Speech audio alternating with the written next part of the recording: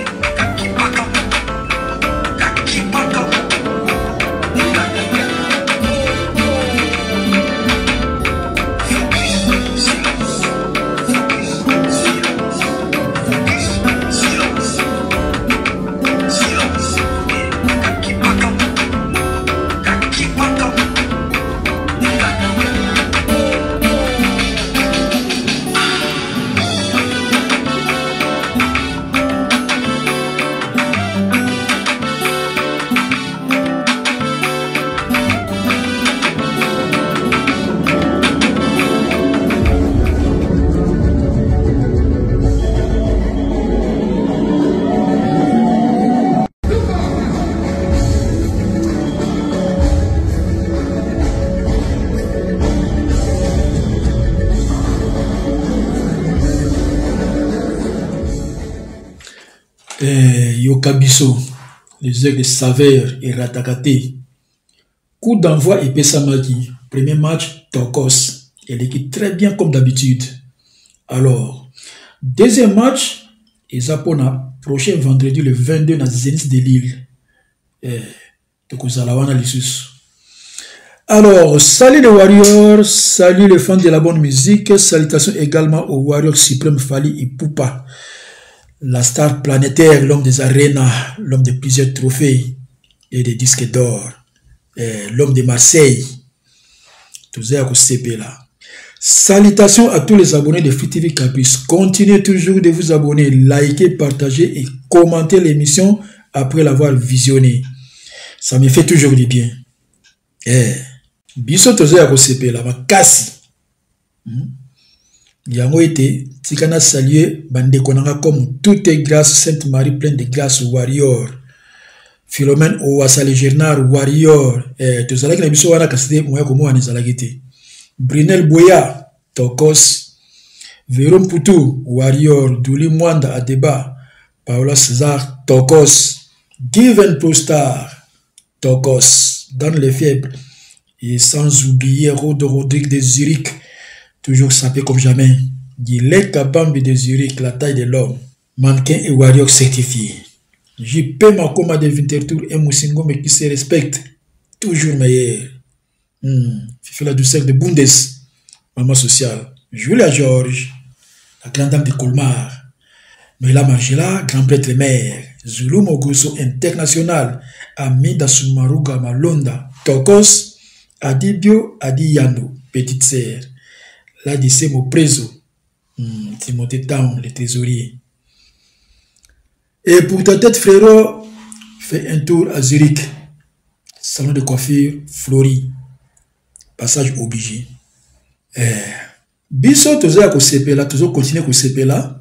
Bouti komona mwa ndamba bilili. Kaka nde pona likabo ba copyright. Mwa ito tia ba son nyonso penza donc eza te. Donc, totalisi bino kaka mwa ndambo extrait wana. toza deja ya kosepela makasi epuis tozokontinue kosepela mai sikoyo totala kota bavoisin kota bavoisin milelo na milelo parce que toyebi te soki bakobeta mokolo nini natieli bino nano extrait oyo tolanda maye maza koleka epa bavoisin Ferre n'est pas capable de jouer Naï Paris la défense arena. Ferre n'est pas capable de jouer Naï Paris la défense arena. Ferre n'est pas capable de jouer Naï Paris la défense arena. Ferre n'est pas capable de jouer na ye Paris la Défense Arena. Ferre n'est pas capable de jouer na ye Paris la Défense Arena. C'est ça bino. Et puis Ferre Gola vous le dit na ba terme voilé bolinga te donc yango ngamo na koyebisa bino Gaulois gladiator amoyi dabord nzi bozosomba lisusu tike ya u arena te soki bokontinue kosomba kaka susu te le concert sera reporte Et puis un bon bout de temps, il y a un relâchement. C'est-à-dire, basali lokola ba U Arena, baza na ba target oyo batiaka. Bakotia par semaine, cet artiste peut atteindre 2000 tickets. En moyenne de 300 tickets par jour. sikoyo soki bosali une deux ou trois semaines bazozela bino par exemple na bazozela bino na 2000 ticket ou bien 1500 ticket bino bosali première semaine 800 tickets en lieu passe de 2000 tickets bien bosali 400 tickets en lieu place na baindicateur na bango bakoki mpe koya koaporte prorogation ou encore prolonger date pour na kopesa artiste plus de temps papa les ngola et les gladiateurs et les gladiateurs sont au nombre de combien ils sont au nombre de 7000 ata bango tout basombi babiye ekopermettre kaka te fere abeta yo arena ce que vous oubliez est que yo arena eza likambo ya kozala na fan base donc partout hmm? na congo na rdc na cameroun na côte d'ivoire na gabo partout en afrique na europe na états-unis na canada hmm? bagolo baza mwa mingi na kisasa estce bofuteli bango billet mpo baya paris puisque ba wana avant basomba ba billet il faut artiste abanda nanu na kozwela bango ba visa Schengen et puis billet ya Air France après baye kosomba ba, ba billet awa na France et ensuite ndenge basombi na bango ba billet te ce n'est pas que concert ekoma reporté non eza déjà annulé mpo sikoyo bosombi te bosomba mokolo nini tout ce temps oyo il fallait bagola basomba babiye bazalaki na balive ya kokritike fali ndenge apesi babourse d'étude na baétudiante après bake na live ya alexandra oyo akufi na canada pour dire ke toza na matanga fali akobeta concert na canada te alors fally abeti na canada te mais abeti na marseille e bino bobeti wapi biye ya 59 euro ekomi bino problème biye ya 59 euro esalaki concert mobimba ya u arena baanule yango mpo na nini bagolwa maboko makasi lokola tata na bango fere selon banungunungu fere aza na problème moko serieux na producteur na ye comme nous le savons fere aza na vaccin ya kobebanaka na baproducteur du abebani lisusu na charles tabu et il semblerait que possibilité ya kochanger date ya concert ezali certaine donc il est fort probable que le 26 avril 2025 concert ezala te tofungoli parenthèse mosusu un certain monsieur jules charapan toyokana bien monsieur jules charapan apubliaki communiqué concernant événement ya fere na u arena mpo na date ya le 26 avril 2025 bangulwa bazwaki communiqué wana babambi yango kashe ya fake news pour dire que communiqué ya monsieur Jules eza faux alors qui est monsieur Jules tomituna nanu qui est monsieur Jules Charapan monsieur Jules Charapan aza muyombe te aza mumbala te aza mpe spiritas te aza mpe warrior te aza français azali charge du développement de la programmation et charge des relations prestataires ya U Arena. Donc, soki olingi o prester na U Arena, il faut omona jeune oyo babengi Jules Sharapano.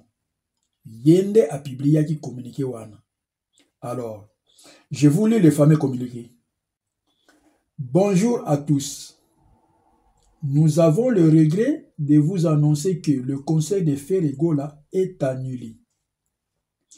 La commercialisation de l'événement peut être suspendue dès à présent.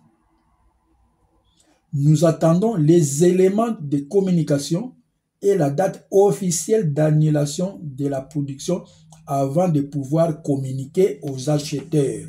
entre parenthèses VIP et grand public. On ferme la parenthèse. Donc, là, on dit, euh, nous attendons les éléments de communication et la date officielle d'annulation de la production avant de pouvoir communiquer aux acheteurs de l'annulation de l'événement. Merci de bien garder l'information confidentielle avant l'annonce de la date officielle de l'annulation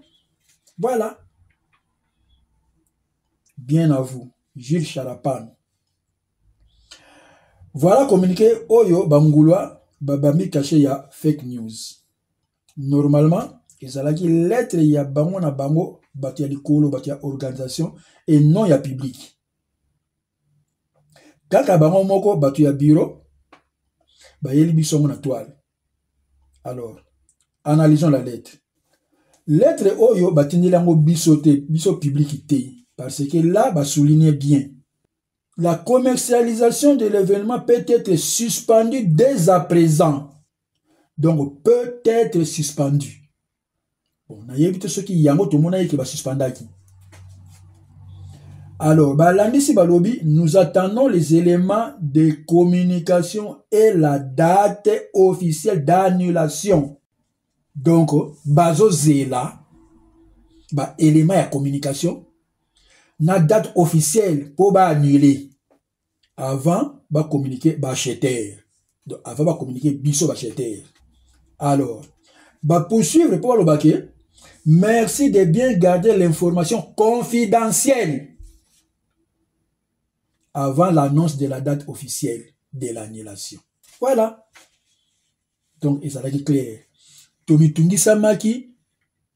mpo na komona ke mpo na koyeba ke accès ekomaki in, inaccessible na site ya achat ya babiye ya feregola ezala bagaulois ezala biso biso tu tozalaki euh, un peu inquiet parce que moyen ya kosomba billet ezalaki lisusu te moyen mpe ya kotala mpe ezalaki lisusu te à présent toyoka notre sœur abel nouvelle kitoko ayeli biso na bowalwood tofungola matoyi mpo ye ayebi ndenge fere gola afonctionnaka elle va nous relater pourquoi les gaulois se sont acharnés contre mark tap l'émission se trouve sur bowalwood tv la chronique kata zoba alors c'est parti ntango bayebisaka bino ke soki boza na saint mark te bokokule botiaka tembe ça c'est la phrase qui a poignardé les gaulois eloko mpena ebomi bango nde yango soki boza na saint mark te bokokule e eh, wana sikoyo aye na studio mpo asala émission aannonce makambo ya yo arena sikoyo aoflashe deja bana mai boyebi ke toa na problème o oh. yoka bango mpe nde baotune o oh, nini yango moto akufi o oh, nini lisusu nini yango aye bozela nasala émission comme ça bino bosala ba émission net boko boyoka kaka kuna na émission mbala moko eloko epesi bagolo akanda na comprendre yango sikoyo eh, ka ndenge azolobaka ntango bayebisaka bino so toza te bokokule Yango wana epesi bango emati ba golois mafuta kote kuna pe site ya internet ekomi toujours bloqué eh, eza kaka kosala te donc site eza toujours bloqué nayebisi yo yo arena ekangi fere catch ya ti jeudi urn akangi bango kati ya ti jeudi billeteri kuna ezozonga kaka te eh, kanda nyonso bazodeverse yango sur marque tabu alors mesdames messieurs en tout cas lelo totiaka bacommentaire eh? on va lire quelques messages et on va essayer de répondre ou de réagir par rapport à quelques commentaires ou bandeko batikeli biso en tout cas lelo eh, na koréagir ka par rapport ya ba bacommentaire qui ça les elengi Alors, Tobandana Ndeko Oyo, oh, Alobi Boye. Alobi, moi je pense que l'une des raisons de cette séparation, c'est aussi le manque de vision de l'artiste, aussi l'impolitesse caractérisée autour de lui. Il a lui-même des gros problèmes de compréhension, mauvaise communication et surtout mauvais entourage. Comment expliquer que lui ne finit jamais bien ses collaborations Alors il ne finit jamais bien avec ses collaborations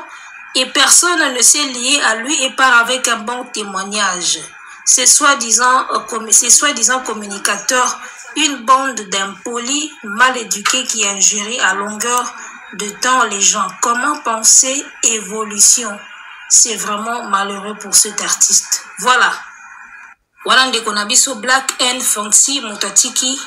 commentaire wana. Donc euh, wana bazoluka ba raison ya séparation ya Live Nation na Ferregola. Mais moi en tout cas je pense que séparation na bango eh, omoni balobaka avant likambo ya monene eya ezalaka toujours na ba indice oyo epresedaka yango biloko ya mike mike.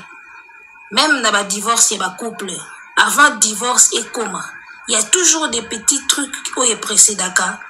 de oyo eprecedaka yango. Ezalaka makambo moko mike mike moke ata mosusu omona o abimaka bimaka trop sans alaka na ndako. Soki abimi akei aumeli. omoni mosusu omona o oh, azalaka na habitude moko boye asalaka sala mwa bilo moko c'est-à-dire qu'il y a toujours des petits trucs oyo ebandaka déjà avant après soki edeborde etondi nde sikoyo moto alobaka bon awa mpena nakoki lisusu te moto na motu azwa nzela na ye voilà passons à un autre commentaire cette fois-ci c'est de thierry bilambo thierry bilambo alobi il ne peut y avoir qu'une seule raison pour l'annulation de son concert pas suffisamment de billets vendus et faire ne veut pas qu'on euh, limite à 5 mois du concert la configuration y serait aujourd'hui à moins de 20 000. Il faudrait un miracle d'espérer une augmentation conséquente plus tard au rythme où se vendent les billets. Ferry doit s'incliner, sinon sa petite notoriété en France sera emportée par la tempête à venir. Donc voilà, Negonabiso Thierry pense que euh, nous pensons la même chose hein, que vous, monsieur Thierry. Donc, ateki na yeba billete, salle annulée, maison ya production pe eh, asi, basila niti toyaki tosala cope cope yango esimbi te mwana mwana abendanaki sikoyo eza bongo donc l'artiste doit s'incliner oyo eza conseil bapesi ye asincline sinon mwa notoriété na ye wana na, na france ekovanda lisusu te parce que les producteurs se parlent entre eux Entre artistes, ça parle. Entre producteurs, ça parle. Entre managers, ça parle, les gars. Ne vous trompez pas. Oh, atongaka fere, atongaka fere. Entre musiciens, batonganaka. Ndenge asali, monika ndenge yo arena na ye ba annule boy. Même na France, ba kosolola ye. Ba dadju, ba nani, ba sidiki diabate, ba kosolola ye que, ah, l'autre là a annulé son truc. Eh, mais lui, il se prenait pour Fali, non? Entre artistes, batonganaka. bino bolingi batonga fere te entre artiste batonganaka ndenge mpe batonga afali na ndenge abieke non le gars là c'est un goat le mec là non c'est un fou il a fait un you arrêt na carton ntango mpe fere bakoannule bakovandela ye mpe kaka na poto wana bataik na basilikidi ya bate wana bakoloba meme gims na dadju bakosolola nde nini moto na yo baannule ah le gars là vraiment il a pas le niveau on l'a soutenu on l'a poussé mais il y a pas le niveau Encore Gims ndenge alobaka. Non mais ce gars là il n'a pas de niveau. On l'a soutenu, on l'a poussé mais il n'a pas de niveau. Comprendre? Entre producteur pe batongaka. Musicien wana ah, wana bina qui va vala. Bozwa ye te na basali na bino a moto moto ya yombo. Balobaka kaka bato balobaka kaka. Yo sala nde makambo ya bien mpo ntango bakoloba baloba ya bien. meme ya bien bato baolobaka mabe bongo so osali sikoyo ya mabe to tokoloba ya mabe mpenza makasi fali pupa qui te fait you arena carton avec des invités de marque dadjo qui prend la parole sur le podium de fali pupa pour dire un message que en tout cas vie oyo respect Message yango kuta loba suni. Allez voir sur la page de Fali les mots que Dadju a sorti le jour de You Arena, étant sur le même podium avec Fali. Dadju a dit des mots, des phrases qui étaient vraiment euh, euh, bah, phrase ya kilo, maloba pena balobaloka ya kilo. Dadju l'a dit, il a confessé que vieux oyo naza prêtre ya osakanate. Tu vois? Et jour là balobi pena respect na Fali Ipupa. me bino eske botikala kondima fali ata moisin ti lelo boboyaa kaka asala yo arena te ezalaki ya pepre me ya pepre yango kasi bosala yango bino ti yango sema kitabu ayebisi bino soki ye aza na makambo te bokokule bozwi ba era bozwi bandombolino botie na masolo ils vous ont apporté quoi ils vous ont apporté quoi hein? Donc, euh, voilà, on va passer à un autre euh, commentaire. On va répondre à Moutoumoro Boué. Voilà, Penazo Mona Nakaza, un vrai, vrai Gaulois. On va prendre son commentaire. Tokotanga ngo et puis tokomeka ko répondre. Et poto sunga ya. Eh, parce que le roi leader na bango azo koka ko yebisa bango vérité te. Place baza wana misusu bazo kanisa basali sold out. misusu bazokanisa ba billet ezotekama kaka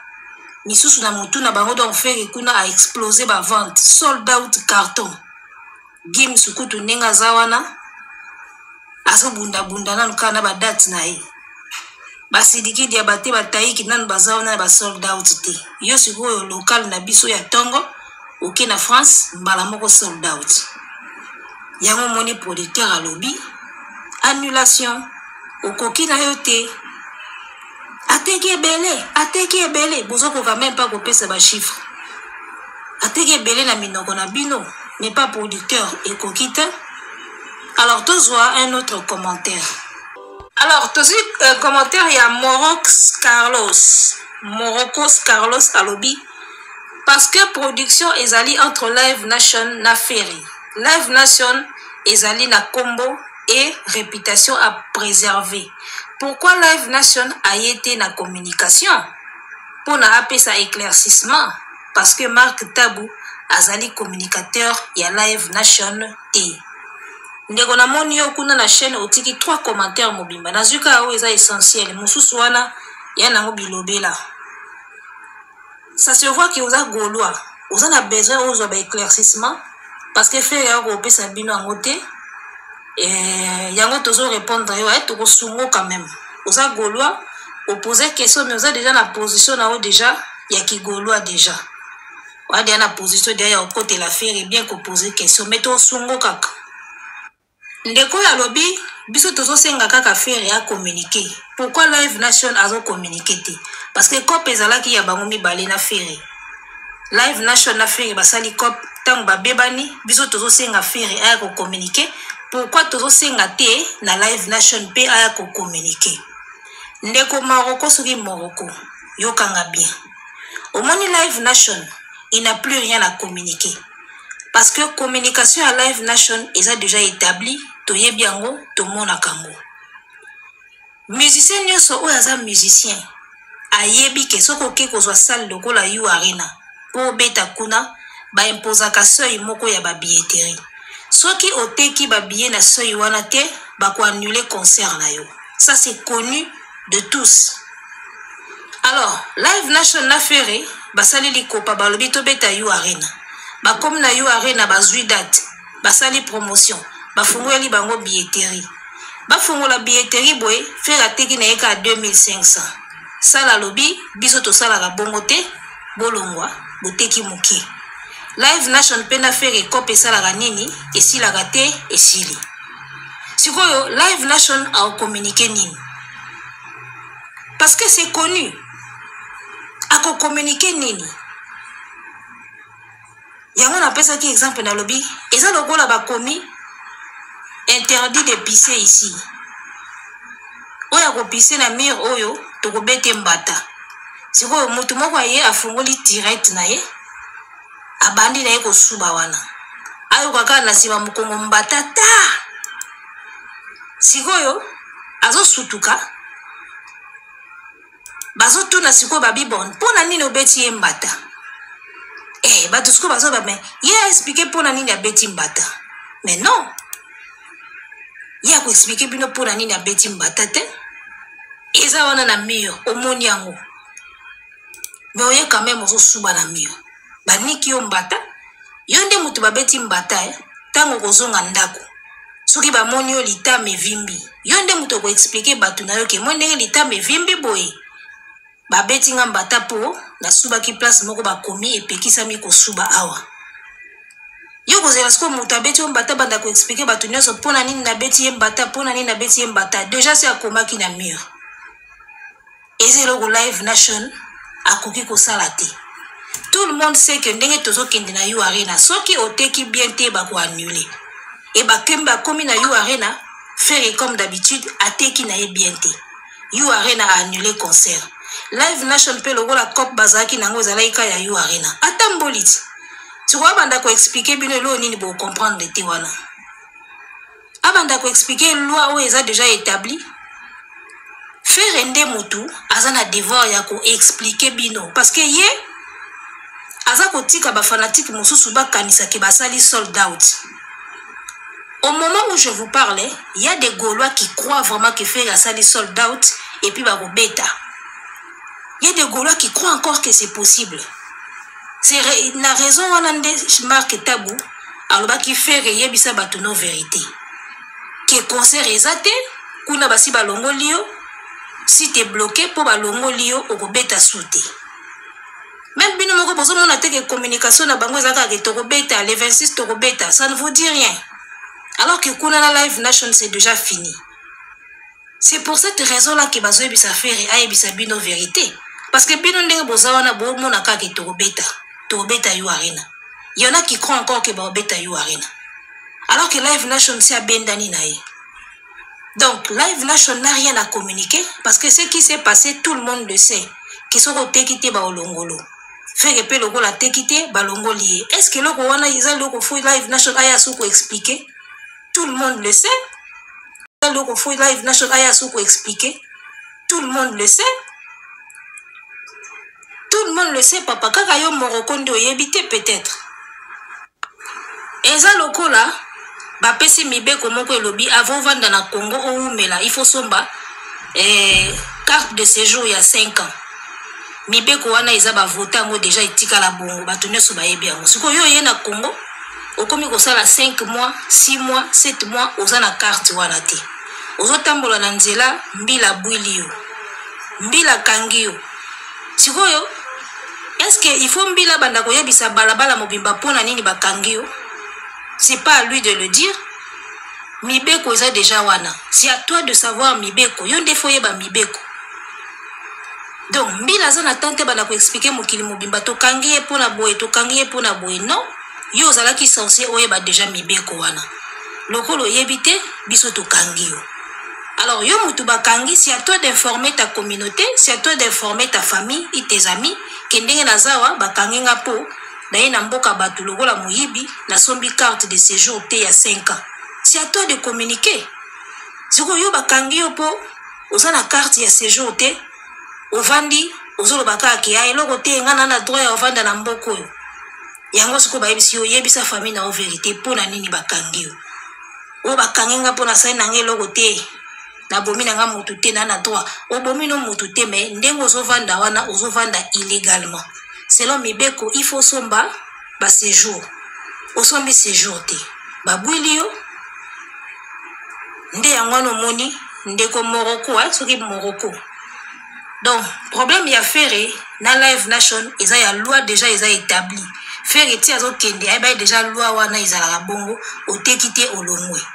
ntango ateki te yuare na boyi live nation mpe asukoli maboko atamboli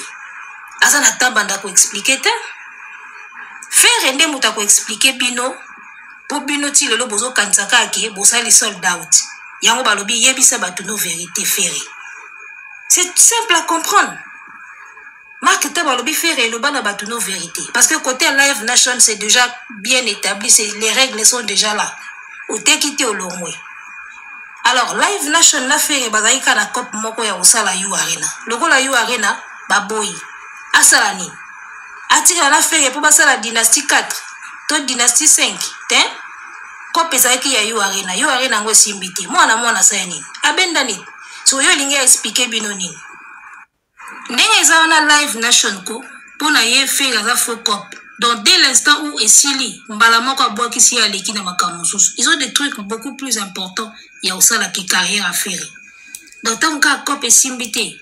mbala moko zimpwaka abwakisi toleka akende na makambo mosusu il n'a même pas le temps ya communiquer parce que les enjeux étaient bien fixés dès le départ dès le départ déjà baenjeu ezalaka bien fixé barègle de jeu eza bien établi oteki te bakoannule soki baannule producteur asali nini akenda makambo mosusu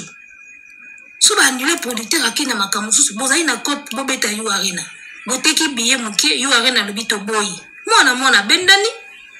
sans explication parce que tout est clair sikoyo yo moroko soki moroko olingi live national aloba bo ndenge eza boye fere ateki te yango sikoyo omoni biso mpe yo arena mpe alobaka boye c'est se répéter les gars hmm? au se répéter pourquoi il n'a pas de temps surtout que artiste yango mpe aza zimpwaka e eh, yaya longwa kuna mbala moko baleki na makambo so ya important au se répéter pourquoi il n'a pas de temps surtout que artiste yango mpe aza zimpwaka e eh, yaya longwa kuna mbala moko baleki na makambo so ya important au se répéter pourquoi il n'a pas de temps surtout que artiste yango mpe aza zimpwaka e eh, yaya longwa kuna mbala moko baleki na makambo so ya important au se répéter pourquoi il n'a pas de temps surtout que artiste yango mpe aza zimpuaka e eh, yaya longwa kuna mbala moko baleki na makambo so ya important omoni artiste azalaka na droit akata contrat moi je suis une artiste à chaque fois batindelaka biso bacontrat meme ya baprestation ya bafestival balobaka ke entre producteur na humoriste oyo asepeli te akoki kokata contrat me baremboursement ezalaka on a le droit de résilier un contrat ferre a le droit ya koboya contrat ferre a le droit bakabwana so bayokani te mais cela ne veut pas dire que so bokabwani fo bomba baraison oyo bokabwaneli il faut aloba ngo siko place nini onga na se contredire en tout cas napesi ndeko na nga moko raison atikaki commentaire alobi eagle woman tika kolanda bagolois obela motu namoni napesi ye mpena raison nakomi koyoka motu mpasi moko mpo na koexplikaka bataba na bangulu oyo bazokoka kaka kocomprendre te meme makambo eza simple bafanatike ya boye sikoyo bolingi fere akei neti na niveau nini soki deja bozocomprendre makambo mabe boye eza mpasi e eh? Nakopesa bino exemple ya Fally Ipupa na David Monceau. Peut-être wana ko ko aider bino bo comprendre parce que nga bokomi opesa nga déjà mutu pasi. J'ai vraiment mal à la tête na ba analyse oyo nyonso ezoleka na internet. Pour de vrai nazoka pena mutu pasi mpo na makambo na bino. Nayebi te ba explika bato ndenge nini. Ba classe botangaki nayebi te ba prof wana soki ti lelo baza kaka na capacité mentale na bango nyonso parce que vous pouvez rendre même un professeur fou modèle ya raisonnement ya ba gaulois alors nakopesa exemple ya fali ipupa na david monso j'avais aimé le courage de fali ipupa fali ipupa na côte d'ivoire na émission ce midi en plein abidjan dans une télé ivoirienne batuni ye pourquoi yo na david monso ebeba fali a eu le courage de le dire tout haut étant à Abidjan, hein, na mboka ya David Monceau na Côte d'Ivoire, dans une télé ivoirienne, il a dit tout haut, et puis etikala ti lelo na ba réseaux sociaux. Il a dit tout haut raison oyo esala bakabwana David Monceau. aloba yango ke akomaki koraconte makambo sur moi moi j'aime des personnes qui sont vraies et après esimbi te natamboli na ngai ye mpe asala nzela na ye et puis fali alobi ke david monso avait dit qu'il va créer un autre fali qu'il crée un autre fali Fally a été courageux de le dire. Mais est-ce que Ferre aura un jour le courage de yebisa biso pourquoi ba beba na ba label nyoso ba beba nanga? Je vous mets en défi. Bato nyoso ba koyamba Ferre na émission même na 2025. Boto na Ferre pourquoi bo beba na na Graal Entertainment? Pourquoi bo beba na Aya Vita? Pourquoi bo beba ni na Live Nation? Bokoyoka Ferre aloba na bino to sauter question wana. Lai tozawa. Mutu to akoyamba Ferre na 2025 tuna ye pourquoi abebana na batu wana misatu na tangi. Bokoyoka ke Ferre akoloba to sauter yango. Il dira ça. Je parie ma main que Ferre dira to sauter question wana. Akoyebisa bino yango. Et puis même so bosali entretien oyo basalaka na ebandeli avant émission ebanda akoyebisa bino ke botuna nga makambo yango te. Il n'a jamais et il n'aura jamais le courage de dire pourquoi abebanaka na ba maison na ba manager. parce qu'il sait très bien que c'est lui le fautif aza na balacune ebele aza na bafaute ebele aza na bagafe ebele c'est toujours lui le fautif je vous mets en défi motu to akoyamba fere na émission botuna ye mpo na nini abebana na bamaison wana nyonso natangi eric siar couleur musique ya eric siar allez sur google tape couleur musique tape eric siar botuna fere pourquoi abebana na eric siar akoyebisa bino tosote question wana c'est toujours comme ça avec lui C'est toujours comme ça avec Ferry. Fali a eu le courage en plein Côte d'Ivoire ya koloba ndenge babebana na David Monso. En quoi il n'était pas content. Aloba yango tout haut. Ferry ne pourra pas le dire. Ferry ata asali émission na mami Ilela akokoka ko répondre na question wana te. Aza na ba jeu moko boye soki asumbi na nganda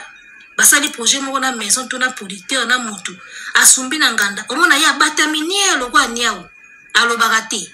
abatami ye azotala sikoyo bafanatike nde babomana na bareseau sociaux bazobomana nde babomana bazofinga bamark tabu baofinga bacharle tabu ye alinga bongo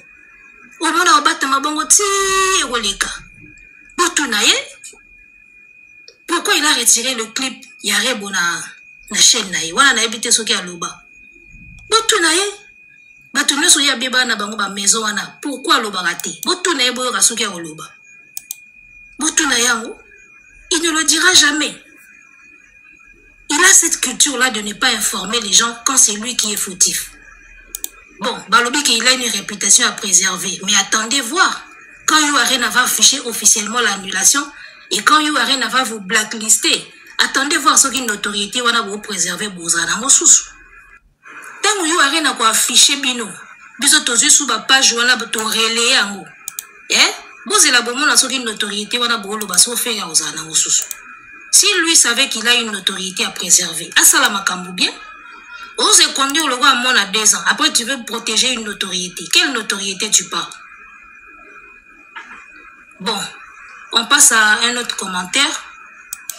alors forelia cristobad alobi boye n'est-ce pas que leur billetterie de U a été classée dans les top ventes des 20 meilleurs concerts les plus vendus au monde Comment ça se fait que le concert puisse être annulé Encore une fois, le concert a été annulé parce qu'il n'a pas vendu au seuil demandé. à na seuil au URN et c'est clair c'est simple c'est net vendre beaucoup